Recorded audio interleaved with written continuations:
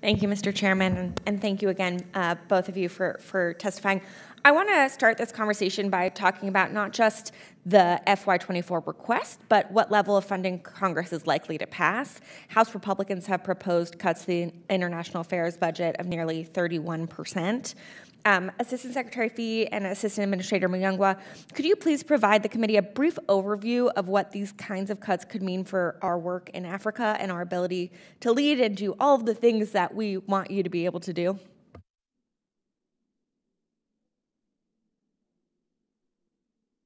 Dr. Monde is a great partner to me, so we never know which one should speak first. Um, this is an exciting time uh, to be involved in African affairs. Uh, finally, uh, the United States is, as President Biden said in December, all in on Africa. Um, we have many opportunities, as, as we've discussed. And again, we believe our values, our approach, our processes, our innovation, our technologies, everything you can imagine uh, makes us um, the best bet for our African friends. Um, but to capitalize on this opportunity, we need those resources. So we have uh, sufficient funds uh, to respond uh, to the programming needs, um, both building on the excellent programs we have that are well appreciated and had, have had a demonstrable impact, and to invest in new efforts uh, such as the Global Fragility Act uh, to make sure that we can um, uh, address what have been sort of entrenched challenges and problems.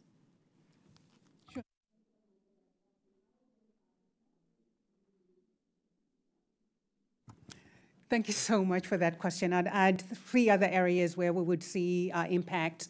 Obviously, it would impact our whole uh, development agenda on the African continent, but let me focus on uh, three of those. If we cut um, uh, the, the budget, Power Africa's um, would not be able to deliver electricity to 2.8 million uh, households across the continent and we know what an amplifier the access to energy is in terms of uh, development. Similarly, uh, with Prosper Africa, if we were to uh, cut the request there, we would not be able to really lean into um, the plans that we have to advance two-way trade between the United States and, and, and Africa to unlock the business potential that um, resides on the continent and also to encourage more American businesses to invest in Africa. The third area I would focus on is on the education uh, front.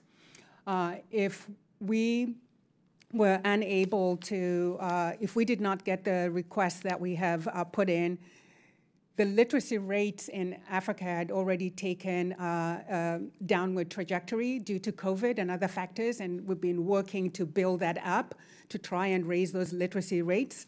Uh, the implications uh, for development, again, given education's impact or link to development, is huge, particularly on a continent where one in four, in five will be African by 2050. Yeah, thank you. And, and I hope my colleagues on, on both sides of the aisle hear um, how detrimental the, the proposed cuts would be for the things we all want to do uh, on the African continent.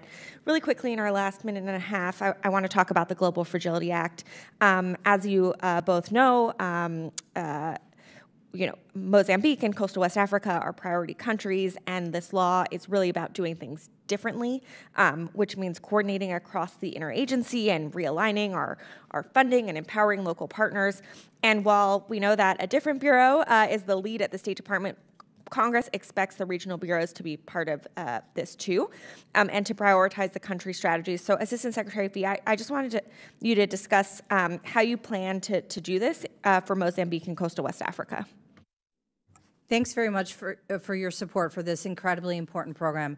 I want you to know that I have directed all of the ambassadors in countries that are benefiting from this program that this is the, should be their number one priority, that we need to have this program succeed to demonstrate that the new authorities and resources you gave us and the new way of thinking and approaching will work. As you know, we're focused on three different types of activities, social inclusion, government responsiveness, and accountability of security forces.